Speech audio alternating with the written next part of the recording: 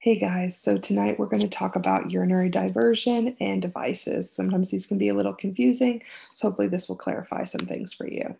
So, what's the purpose? So, when we're talking about diversions or like ostomies and stuff like that for the urinary tract system, um, they help to create a path for urine to exit. So, maybe there's a blockage, there's cancer, some sort of obstruction. Um, so, they help to create an opening. Whereas other devices we talked about, like Foley's, suprapubic catheters, PureWick's, condom catheters, etc., like all of these more help to contain urine, get an accurate intake and output, and prevent worsening of skin breakdown for some of them.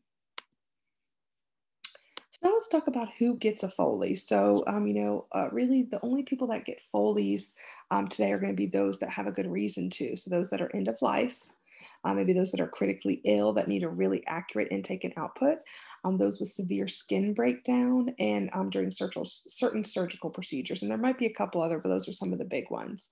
Um, so you have to have an order and sometimes you have to have an order depending on your hospital policy renewed every day. Sometimes it's every other day. But um, it used to be that most patients just got catheters but now with the increase in amount of infections related to those catheter insertions they're not um, as openly um, given as what they used to be um, and so um, preventing those infections are priority. And now that in most hospitals have what's called a nurse driven protocol, which means that um, it's a protocol that nurses can follow that, um, you know, if the patient meets certain protocol, um, sorry, certain, um, if they have like certain, uh, facts about them, like, you know, like if they meet certain criteria, that's the word I'm looking for. If they meet certain criteria, then a nurse can actually remove a client's Foley if they um, meet this criteria without a doctor's order. So, in other words, it's things that kind of help to support a nurse to remove a catheter without having to, like, you know, call a doctor in the middle of the night or something like that if it's appropriate to remove that catheter. So how do I prevent this infection? If my, you know, big goal is to prevent this infection, how do I do this? I'm going to clean that catheter Q shift. In some hospitals, you have to clean with like a HEPA material, something like that, or um, a HEPA clean, cleanser cleaner um, doing sterile insertion or um, you do like with the buddy system, like, you know, where, where I work, um, you have to, you can, um, if you're going to insert a Foley catheter, a charge nurse um, has to be there with you um, to insert that, not even just like a neighbor, it has to be a charge nurse or someone who's trained in leadership to insert that with you to make sure that it's sterile inserted. We want to keep it below heart level. So dependent drainage, I don't want to hold it above the patient's heart level. I want to keep a closed circuit. There's a seal on it. We want to make sure never to break that or open that. And as soon as possible, I want to take that catheter out. Um, there's lots of other ways to contain urine. So um, these ways are not going to um, uh, you know, contain urine um, in a way that's not going to, you know, still put them at risk for skin breakdown, but it's still going to help us to maybe if we're if we need to like have a more accurate intake and output if the patient um, you know, is having like really bad skin breakdown everywhere, and we're trying to contain that at least a little bit, um, we can also use these devices. So there's pads and chucks. We're really moving away from diapers. You don't really see those in the hospital anymore. Um, there's also PureWick catheters, which are those external female catheters um, that um, literally are attached to a suction, that kind of suction um, condom catheters for men that, uh, are an external catheter. And there's even just general pouches. So, you know, some men have more of an innie than an outie with their penis. And so, um, you know, a pouch allows us to still contain that, collect that urine if they maybe we can't get a condom catheter, uh, catheter on them because of the size or um, anatomy that they have going on. Um, remember, again, these are not perfect. Um, there is still incontinence, so we do need to monitor the skin closely. These, um, these can still lead to some skin issues. So always just watching closely. Uh, so then we talked about diversions. And so diversions are, again, for patients with cancer, obstructions, maybe stenosis of some of the urinary tract. They need to have a way to get urine out. So there's a creation of an ostomy or other device.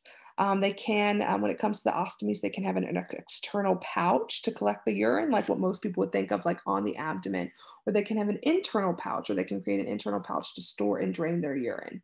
Um, so the three types we kind of touched on were urostomy, which is um, comes out of the bladder, a ureterostomy, which comes out of the ureters, and a nephrostomy, which comes out of the kidneys.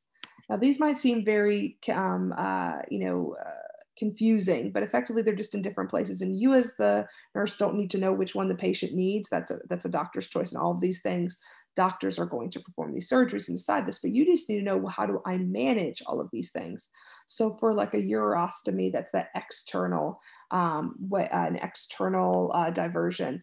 Um, you know, I need to monitor skin and the stoma or that external, um, you know, um, piece that uh, where urine's going to be coming out for breakdown. So I need to be monitoring that closely for an internal. So if a patient has an um, a urostomy, but it's a what's called a Kock pouch, um, and that's where they actually create, pretty much think of it like it's almost like creating another bladder, but they're creating a little pouch inside that you can actually catheterize and drain. And that's really nice um, because patients a lot of times have a lot of um, image issues and um, fear and anxiety around having that external pouch and like pee being on the outside of their body. So some patients, not all, may qualify for this procedure. And if so, they need to um, uh, drain that pouch every four to six hours to make sure that they, does not overfill. There's also ureterostomies, and ureterostomies are those thin little tubes that connect the bladder um, to the kidneys, and so they kind of allow the kidneys to drain, um, you know, urine into the bladder. Um, these are very narrow and they're very weak, and so um, uh, they can easily collapse on themselves or get stenosis or narrowing. So I need to monitor patients that have those for stricture or in other words, I need to look to see are they having decreasing urine urine output because um, they shouldn't be um, with that device. Um, and there's also what's called a nephrostomy, um, and that's um, you know a literal catheter that's inserted into the um, kidney itself, especially if there's like a really obstructing stone, um, or if there's a problem, maybe all the rest of the urinary tract, they may have a nephrostomy. These are usually temporary. Um, and it's a catheter that's not yours inserted in you. So I need to always monitor for infection with those. So hopefully this helped break down um, diversion and devices a little bit and get you feeling a little bit more confident moving into the section. So I'll see you next time.